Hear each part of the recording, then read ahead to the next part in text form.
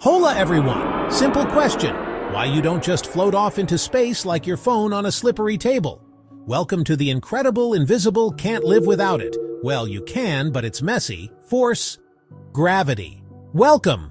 It's world oversight. Yep, that's what caused the apple to fall on Sir Isaac Newton's head.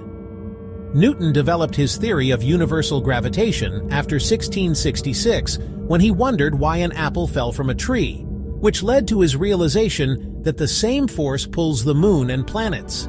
His mathematical principles, published in in 1687, describe gravity as a force between all objects with mass, depending on their mass and the distance between them.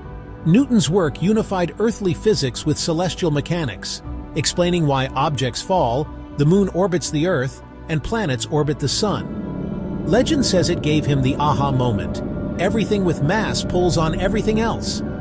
The bigger you are, the stronger your pull. So basically, you're like a cosmic magnet but for massive stuff. Well, whatever. So, gravity is the puppeteer behind planet orbits, the moon's dance, and even our weight.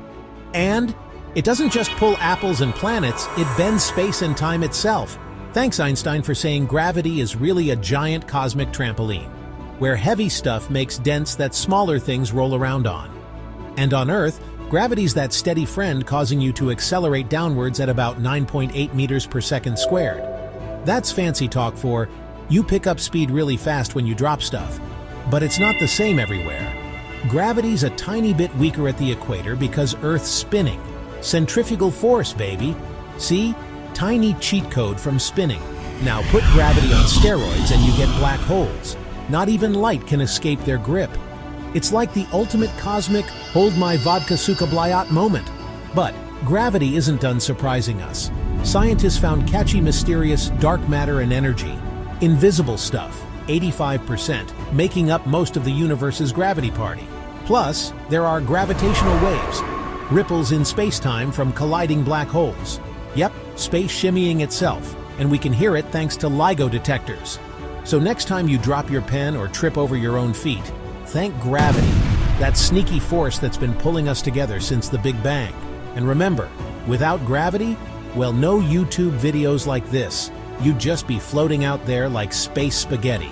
Gravity, the universe's ultimate invisible glue, weird, wonderful, and utterly essential. Like share and stay grounded, literally. See you next orbit. Subscribe for more science shorts. Until the next time, as always, my comrades, sayonara mi amigos.